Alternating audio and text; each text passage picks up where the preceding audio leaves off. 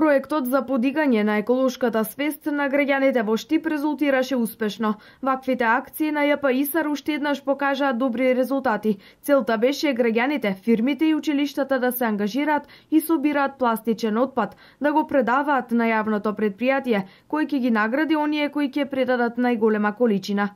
Телевизорот како телевизор нема го некое големо финанско значење, Битна е акцијата која што е потикнавме свеста на сите граѓани на град Штип дека мораат да го селектираат отпадот, дека тој отпад се преработува и од него може да може да се добијат пари. Во овој случај во рамките на акцијата за избор на установа со најмногу собран пластичен отпад се издвои основното училиште Гоце Делчев, кое собра над 70 килограми пластика тоа што нашето училиште, поточно учениците, собраа најголема количина на пластика, околу 70 килограми.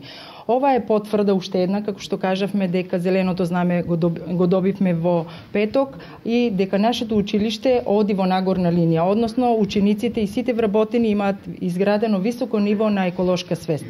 Ја собиравме една година стара хартија со цел да заштитиме нашата природа и да почнеме да подигнеме свеста на сите ученици а, и сме многу благодарни на цело училиште и на нашите наставници и ние самите што бевме толку многу свесни и собиравме старата хартија. Повеќе треба да се учествува во во реализирањето на екостандардите и мислам дека подобро е да се рециклираат отколку за да се добие нова награда. Ова јавно предпријатие месечно собира над 2,5 тони пластичен отпад кој го преработува во собствената фабрика. Месечно околу 2 до 2,5 тона пет амбалажа.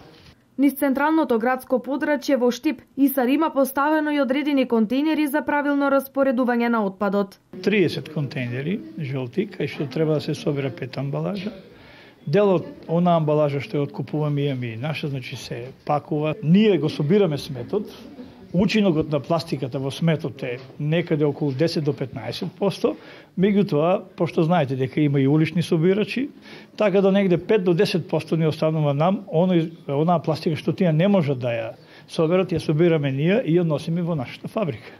Исар ќе продолжи со ваквите активности понатаму. Покрај наградите, тие ќе имаат и едукативни предавања во следната година.